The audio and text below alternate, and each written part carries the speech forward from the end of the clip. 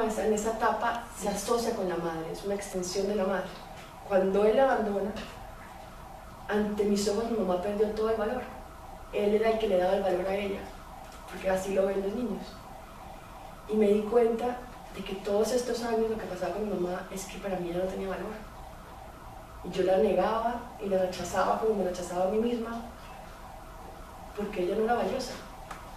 Entonces se lo hacía sentir y me lo hacía sentir a mí.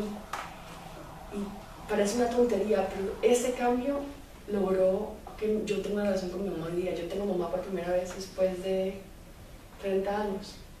Yo me acuesto con mi mamá en televisión, cocinamos juntas, vivimos juntas hace un año. Yo pensé que eso no iba a ser posible.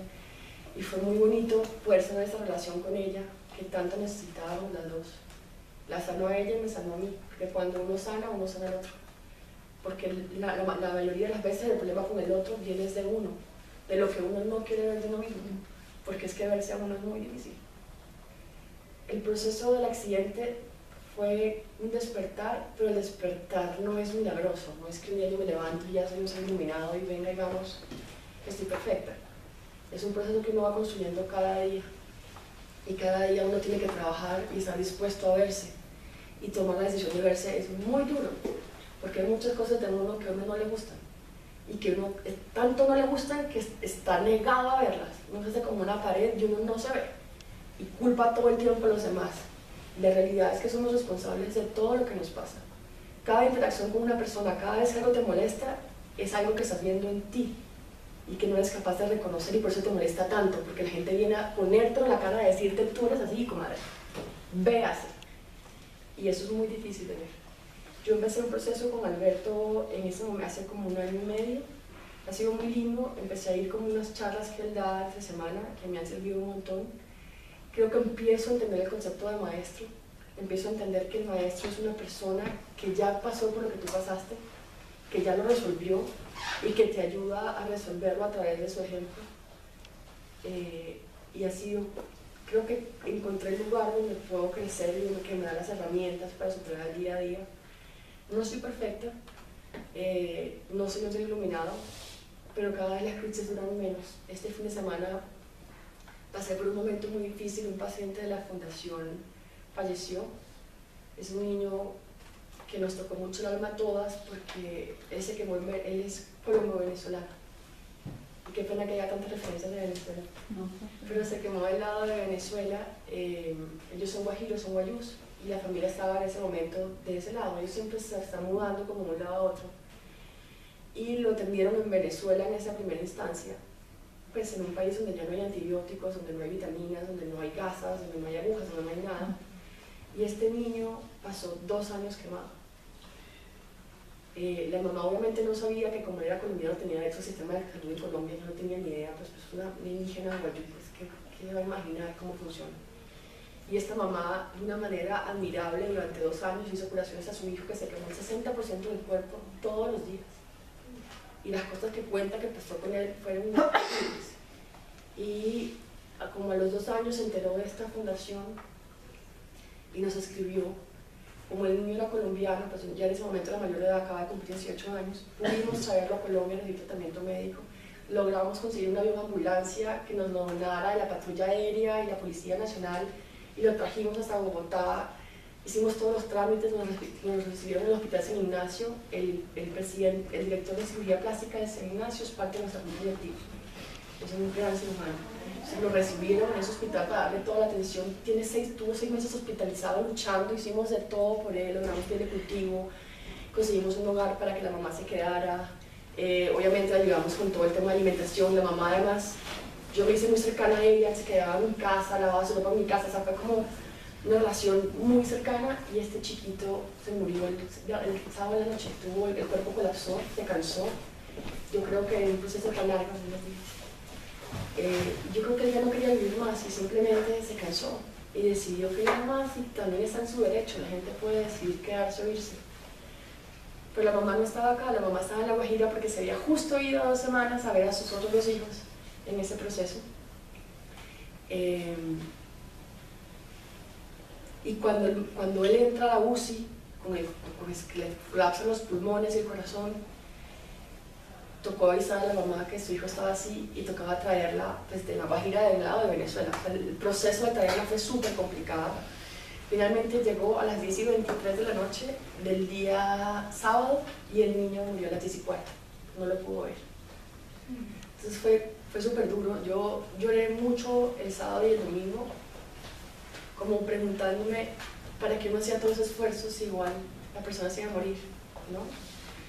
Em, además empecé a sentir una culpa absurda porque es que él quería un pollito asado, me lo pidió el domingo pasado y yo te lo llevo el sábado porque entre semana estoy trabajando y no puedo venir. No le llevé el pollito asado y se murió sin su pollito asado y eso fue un tormento en mi cabeza.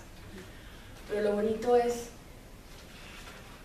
que el domingo en la mañana ya yo había entendido que era el proceso, que él tenía derecho a descansar, hicimos todo lo que pudimos y pude estar para su mamá.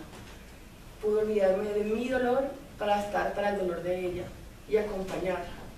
Y bueno, ha sido un trabajo súper complejo porque esto, eh, como fue un accidente en la casa principal de la muerte, tenía que ir la policía, medicina legal, la fiscalía, ha sido como un tema muy complicado y hemos podido estar para ella. Y, y ya hoy en día agradezco la oportunidad este, que este niño nos brindó como fundación para crecer, para entender. Agradezco todo lo que pudimos darle, cómo pudimos mejorar sus últimos seis meses de vida. Y, y pues entiendo que siempre vale la pena hacer hasta el último esfuerzo por alguien pero también es importante soltarlo cuando se quiere ir y agradecer lo que esa persona nos enseña. No, perfecto. Quedan varias cosas. A ver, Lo que está haciendo la Fundación ahora para tener su sitio ah, propio. Bueno, entonces en, esta, en este tema de que la Fundación tiene este norte construir una unidad de quemados, también a la Fundación le pasan milagros todo el tiempo.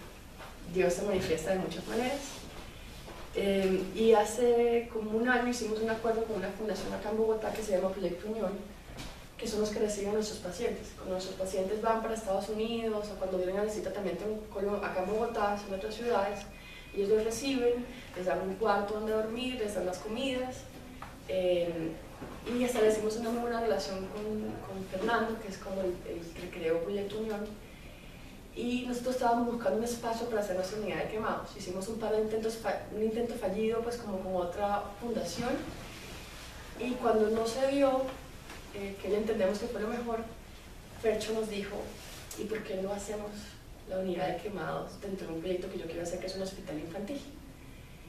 Resulta que a Fercho el Parque Jaime Duque le donó un terreno, o sea, frente al Parque Duque, Jaime Duque hay un terreno enorme, que es como un espacio muy verde y en ese terreno, el Parque de Duque está construyendo un ecoparque. Están, están como recuperando la, el bosque de sabana y los humedales. Y donaron 7 hectáreas de ese terreno para construir un hospital. Y eh, en ese hospital, pues que va a construir Fecho, que es un hospital para pediátrico, para que además va a tener un tema de neonatos importante, y porque él trabaja ya hoy día con niños que tienen como discapacidad cerebral, que, tienen como, pues, que fueron abandonados porque tuvieron algún problema en el nacimiento. Entonces, ese hospital está pensado en recibir a todos esos niños y a los niños de Colombia que necesiten un tratamiento médico eh, para que todos tengan ese acceso a esa, esa medicina que, que, merecemos todos. Y allí va a estar nuestra unidad que más. Hace como un mes firmamos un acuerdo con el Jaime Duque con el Proyecto Unión y pues ya tenemos el terreno para construir unidad de quemados, que es pues, pues, un logro increíble, conseguir el espacio pues ya, ya es un montón. La semana pasada nos reunimos con el Club de Rotarios y nos ofrecieron hacer, ellos nos dijeron que no nos podían dar plata, pero que nos podían donar cosas. Entonces es posible que nos donen la sala de cirugía o las camas del hospital, va a ser un hospital de 20 camas, que va a ser parte de un alivio de lo que el país necesita. Como les decía, el país tiene un déficit de más de 100 camas y pues ahí construimos con las primeras 20 y pues si a, la fundación le da bien, pues la idea es poderlo crecer. Eh, nuestros niños van a poder ver verde, van a estar en un hospital donde va a haber pájaros, árboles, fauna pues, de distintas especies, eh, donde los papás van a poder salir a caminar en la mitad de un bosque para tomar un poco de aire, pensar en otra cosa. Entonces pues es un privilegio poder construir una unidad de quemados en semejante lugar. Ah. Eh, eh, bueno, con mi papá mi papá yo lo, lo conocí finalmente, él se fue cuando yo tenía 4 años y reapareció cuando yo tenía 22. Al principio fue bastante tóxico, obviamente, pues yo tenía una necesidad tremenda de aprobación de él que no me daba y, y al mismo tiempo mucha rabia. Entonces había reclamo y necesidad de afecto, ¿no? Fue una relación súper difícil. Después de que me quemé, yo fui a verlo a España, él es español, vive en Granada con su nueva familia, y yo me fui a verlo porque dije, ese es el momento de reconectar esa relación, yo necesito un papá, y me fui a verlo y fue terrible, salí con las talas en la cabeza. Eh, yo estaba hipersensible y él, pues, le cuesta mucho dar, es una persona que vive mucho dentro de sí misma, y chocamos mucho, terminamos con una pelea tenaz y dejamos de hablarnos durante siete años seis años, durante seis años. Y hace dos años él hizo un acercamiento, yo estaba lista para recibirlo, porque uno tiene que estar listo, ya lo había perdonado. Él tiene una editorial de libros para niños, entonces me mandó como todos los libros de la editorial, yo le escribí para darle las gracias y él por primera vez me dijo perdóname por haberte dejado las dos veces que te dejé. Y empezamos a vernos, yo dejé de verlo como un papá, porque creo que cuando le ponemos el rol a las personas, eso implica que las personas tienen que darnos algo, que tenemos, que, que, tenemos derecho a exigir algo. Y cuando le quité ese rol y pude verlo como un ser humano, pude entender todas sus carencias, todo lo que había vivido, pude admirarlo incluso. Entender que es una persona que le dio todo lo que tenía, que él no tenía nada más para dar. Él nació en un hogar, en una España, en épocas de Franco, pues, una España pobre, una mamá, pues, con una vida turbulenta, que muere cuando él tiene nueve años, él prácticamente queda como en la calle. Eh, vivía en una, en una vecindad humilde, entonces creció como rodeado de gitanos, en un momento empezó incluso a robar con los gitanos, terminó en la cárcel de chiquito, pues como no preso, pero sí como que lo llevaban a la policía y la policía llamaba a la abuela y le decía, está su hijo acá, ¿no? Y esa, esa abuela decidió mandarlo con su papá, que vivía en Venezuela, y era tan loco que un día se escapó de la casa del papá porque él quería encontrar el dorado. Y se fue a dedo desde la costa de Venezuela hasta el Amazonas con, nueve, con 12 años. Cuando se dio cuenta que el dorado no existía, se fue a la policía y dijo que se había escapado a su casa para que lo mandaran de vuelta. Em, y finalmente pues él me dio lo que tenía. Es un hombre que se formó solo. Lo admiro mucho porque no habiendo terminado el colegio, porque no lo terminó, hoy en día tiene una editorial súper importante de libros en España qué, qué, qué, qué, ironía la vida que un editor de libros no haya terminado el colegio, ¿no? Es como, y pues tiene mucho mérito, evidentemente. Sé que, me dio, sé que él dio todo lo que tenía, sé que él no dio más porque no estaba en su posibilidad. Él no era una persona emocionalmente sana porque tampoco tuvo nunca referencias, ni nadie que lo ayudara y se formó solo. Y pues le agradezco lo que me compartió Hoy en día nos relacionamos desde allí, ya no es una relación de hija pidiendo afecto a papá, sino como dos personas que se conocen y se respetan y pueden compartir su historia. Y esa es la forma en que hemos sanado la relación él y yo. No es mi figura de respeto, pero pues es un amigo con el que puedo hablar y que, que me interesa su vida y me gusta saber qué hace y por el que siento mucha admiración por lo que ha logrado, viviendo en un lugar tan, tan humilde y tan complicado. ¿Tus hermanos? Ah, bueno, tengo un hermano mayor el que es hijo de mi mamá, es hijo de otro papá, pero pues es mi hermano. Hoy en día está acá en Colombia, trabaja conmigo en el restaurante. Lo pude, lo pude ayudar a salir de Venezuela, pues es que este, hablo mucho de Venezuela porque está tan complicado que es parte de la vida, aunque yo hace muchos años me fui allá.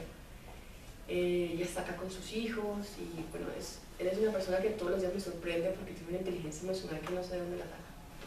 Si yo hubiera tenido la mitad de la inteligencia emocional que él tiene, hubiera hecho mucho con los regalos que la vida me dio. Eh, pues mucho más, pero pequeña que es orgulloso de mí. Eh, y tengo aparte una hermana que no conozco, de la que me enteré hace un año, porque mi papá se le salió. Y que no, es que tu hermana en Cuba, ah, Caramba. Este, tengo una hermana de 15 años en Cuba con la que no conozco, pero que nos hablamos pues como por redes, pues por WhatsApp y a veces hemos hecho como llamadas también por WhatsApp o por Instagram. No la conozco, Eh, pero se me hace una niña dulce y pues en algún momento seguramente la conoceré. Tengo tres hermanos, conozco a dos de ellos porque mi papá pues un hombre muy vigoroso, tiene tres hijos chiquitos. El más chiquito tiene tres años, entonces pues todavía no lo he podido conocer. Em, su esposa, tengo mucho que agradecerle porque la primera vez que se acercó a mí fue gracias a ella, a la influencia de ella en su vida. Em, ¿Ya? Esta es la primera vez que tu mamá oye toda esta historia. Sí, es la primera vez que la veo.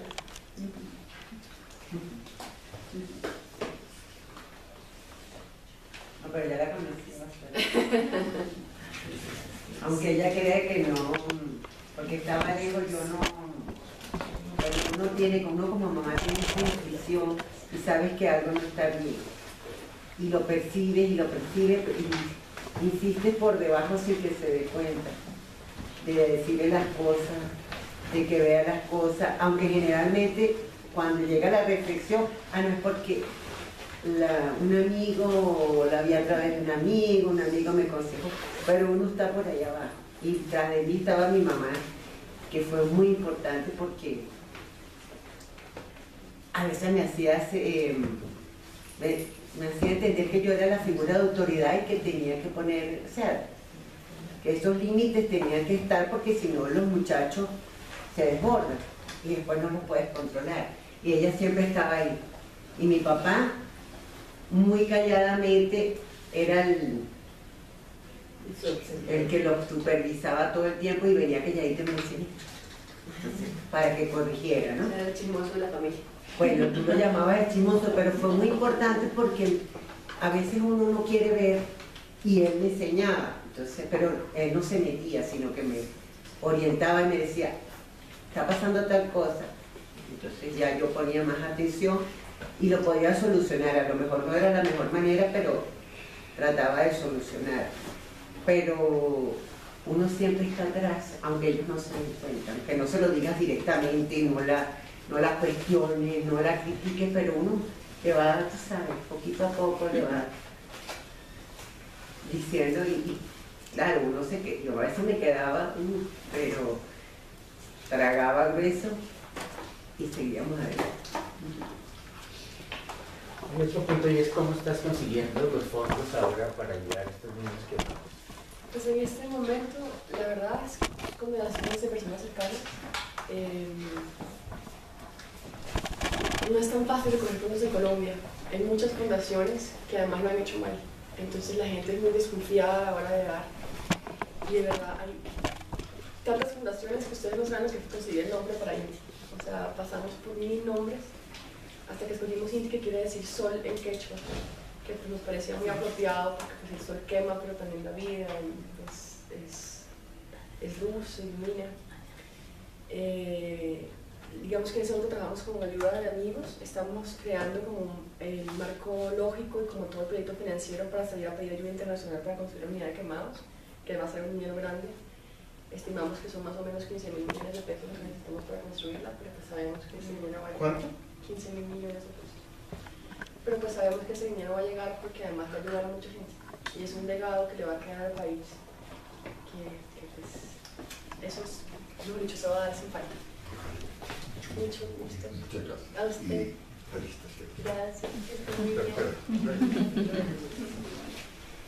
Eh, y bueno, digamos que para el día a día conseguimos ayuda con amigos y pues también hemos gestionado muchos fondos como, como de, del programa de ayuda que hemos conseguido, por ejemplo, tenemos, estamos en el pasaje de Millas de Avianca eh, para traer a los niños que vienen pues, de ciudades remotas. eh, tenemos a través de Children's un acuerdo con, un- con una fundación en Estados Unidos que se llama Flight for Children, que nos ayuda a conseguir los pasajes para llevar a los niños a Cincinnati.